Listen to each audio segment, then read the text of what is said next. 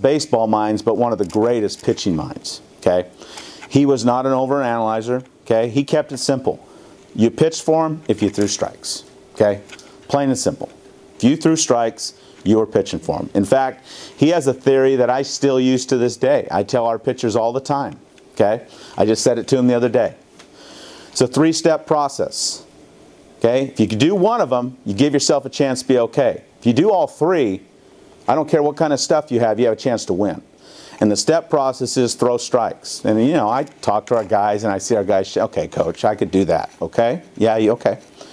Throw low strikes. Okay? Coach, I can do that. Okay? But when I say strikes and low strikes, I'm talking at about an 80 to 90% clip. Okay? Not just every third pitch, not every fourth pitch, at an 80 90% clip. And then it was throw strikes, throw low strikes, and be able to ball, move the ball in and out.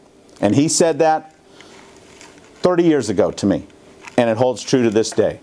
If you could climb the stairs three steps, you're going to have a chance to be a great pitcher at any level. Okay? And again, you guys, as a group, could be sitting there going, Coach, that you know, you came all the way from Knoxville to tell us that. That's pretty simple. It's easier said than done, to be honest with you, man.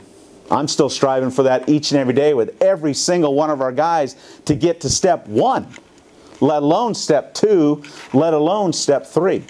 Okay?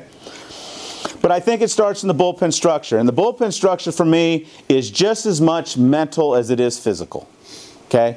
A lot of guys are the pitchers get excited because okay, now I get to do I get to do a drill. I get to actually do something. I'm not shagging, I'm not fungoing, I'm not uh, standing on a base taking a throw. I get to do something. But to me it's just as much mental as it is physical. Okay? And I think there's a mental imagery, and I'm into imagery as much as I am mental game about seeing yourself do something before you do it.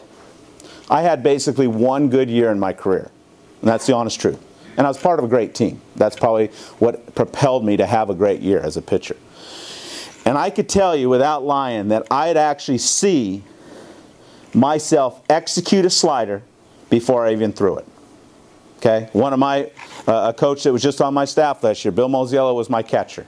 Okay, back in junior college. And when I saw him put down the three before, and it's a split second. It's not because I'm in into tempo. It's a split second. I saw that ball come out of my off my fingertips, and I saw the dot of the ball go under the barrel of a bat. Positive imagery. Okay. Now I said I had one good one good year. I had many bad years. Okay. Same deal. I saw that slider come off my fingertips, hanging up in the zone, and the guy hitting it over the second baseman's head into the gap. Okay? It's positive, and you, that could be trained. Okay, I know for today's kid, they look at me like, you're crazy, coach. You know, can't do that. That's, that's, uh, that's a habit that should be trained on a daily basis of seeing yourself execute the pitch before you throw the pitch. And those, those are all the little things in a bullpen structure that I try to strive. It isn't just about going out